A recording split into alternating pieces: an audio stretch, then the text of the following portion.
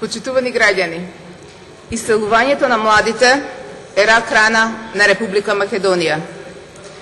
За Македонија секое иселување е голем губиток.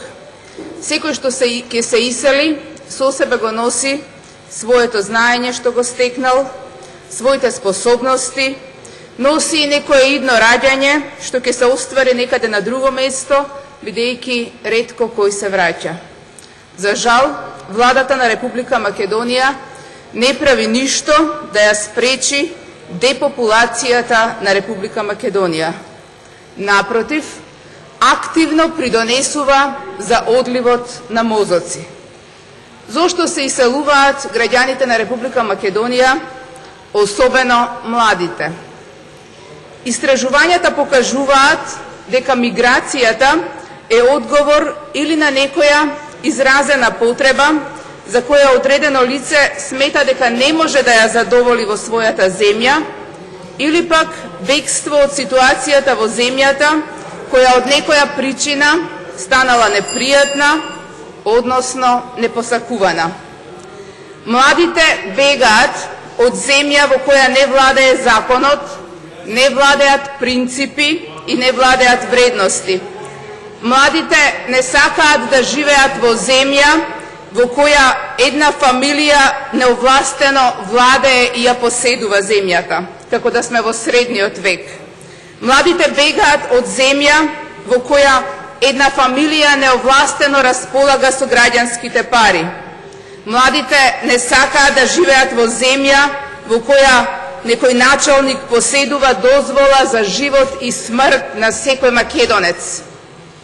Младите бегаат од земја во која некој си дозволи да се замисли дека е Господ. Младите не сакаат да живеат во земја во која владее терор и насилие од страна на власта, а не постојат институции кои тоа ќе го спречат. Постојат сериозни истражувања кои говорат дека емиграцијата на младите е показател за нивната недоверба кон легитимитетот на поредокот во државата. А недоверба кон легитимитетот значи дека граѓаните сметаат дека власта не е праведна и не е исправна.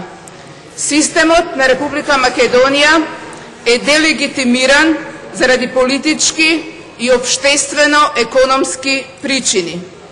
Младите се иселуваат заради безнадежноста да имаат пристоен живот овде Тие се принудени да влезат во канџите на владеачките партии, а тоа значи не само влез во партиите на власт, туку и влез во коруптивни шеми, затоа што работните места што ги добиваат од власта, потоа на нос им ги вадат партиските моќници.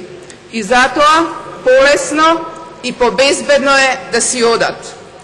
Младите си одат заради тоа што нема стратегија за правично решавање на нивните екзистенцијални прашања. Младите знаат дека ако отворат фирма, ќе се соочат со државна пресија на секој чекор. Како што слушнавме во бомбите, нема фирма што не е изрекетирана. Но младите си одат, бидејќи Македонија им пружа и малку можности за личен развој.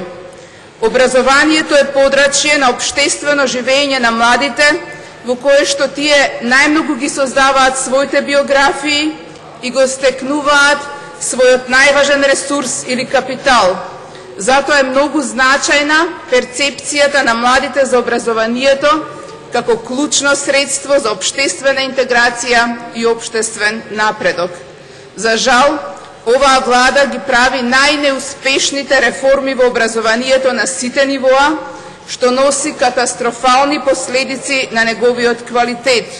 Затоа многу изворен, многу искрен и оправдан беше револтот што студентите го искажаа на своите протести минатата година.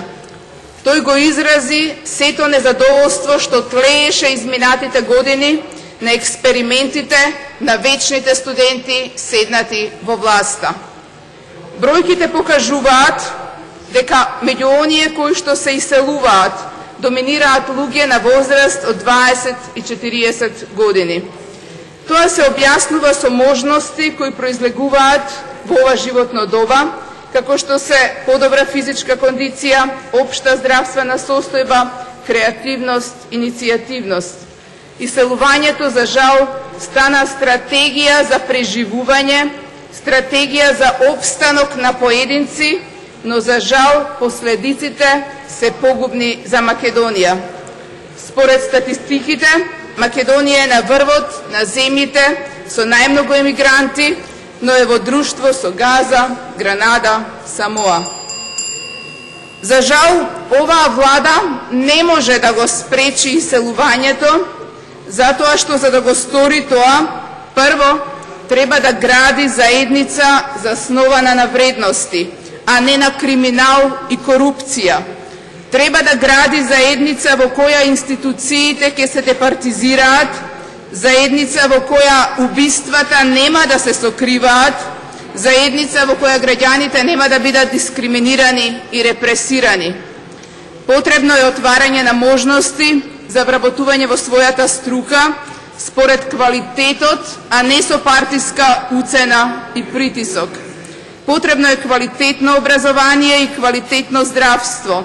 Здравство во кое лекарите ќе се занимаваат со здравјето на пациентите, а нема да ги гледаат пациентите како бројче од списокот со 20 гласачи на ВМРО ДПМН, кое треба да го обезбедат. Потребна е можност за подобра заработка и ослободување на фирмите од притисоци, уцени и рекет.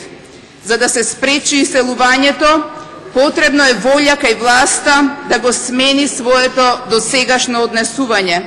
За жал, јас не сум оптимист дека оваа влада сака тоа да го стори. Како велат, волкот крзното го менува, но не и ќутта.